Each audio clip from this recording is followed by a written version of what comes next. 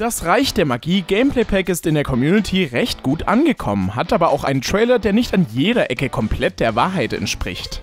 In diesem Video möchte ich euch meine ehrliche Version des Trailers vorstellen. Damit ihr das Video besser versteht, solltet ihr euch nochmal den Original-Trailer in der Beschreibung ansehen. Gemacht? Los geht's!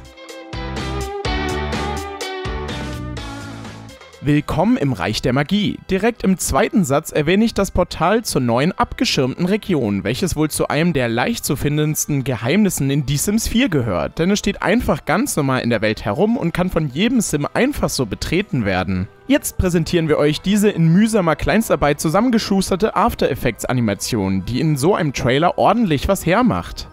Die drei Häuser werden in diesem Trailer groß präsentiert, haben aber im fertigen Spiel gar keinen echten spielerischen Mehrwert. Aber Moment mal, bis auf Morgan sehen alle Waisen-Sims in der eben erwähnten Szene im fertigen Pack doch auch komplett anders aus als hier im Trailer dargestellt. Wieder einmal ein Fall der klassischen Trailer-Magie. Ich nenne es Übung, Studium und Entschlossenheit, um ein guter Magier zu werden. Ihr Spieler würdet es eher Ausdauer nennen, da man größtenteils immer ähnliche Aufgaben abarbeitet, um aufzusteigen. Auch wenn es Spaß macht, alle Zaubersprüche zu erlernen und es durchaus ein paar nützliche gibt, sind die Mehrzahl wohl eher eine lustige Spielerei. Das verrate ich euch aber natürlich nicht. Sekunde mal, können wir uns nicht schon mit Hilfe der Wellness-Fähigkeit oder dem Vampire Gameplay Pack teleportieren?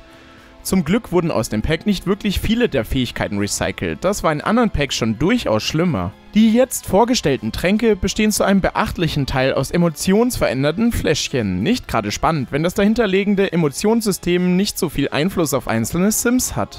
Abgesehen von dem wohl unmagischsten Begriff im ganzen Trailer, nämlich Talentpunkt, der einen eher an einen mittelmäßigen Kinder-Sommerferien-Hobby-Workshop erinnert, kommt euch diese Benutzeroberfläche nicht ein wenig bekannt vor? Ja, das grundlegende System kennen wir eigentlich schon aus dem Vampire Gameplay Pack, dessen Vorteile hier mit neuen ausgetauscht wurden. Die letzten Trailer-Sekunden brechen an, die ich mit meiner mystischen Trailer-Stimme nochmal dazu nutze, um den Spieler direkt anzusprechen und ihm das Gameplay Pack schmackhaft zu machen. Das war's mit dieser ehrlichen Version des Reich der Magie Trailer. Auch wenn ich mich an manchen Stellen über dieses lustig gemacht habe, zählt dieses Gameplay Pack zu eines meiner Favoriten. In der Beschreibung findet ihr einen Link zur letzten Folge Sim gehört, in der ich mit meinem Kollegen Micha von simtimes.de über die Inhalte des letzten Updates und maximalistischen Wohnstil-Sets gesprochen habe. Wenn euch das Video gefallen hat, lasst doch gerne einen Daumen nach oben und ein Abo da. Also dann, bis zum nächsten Video.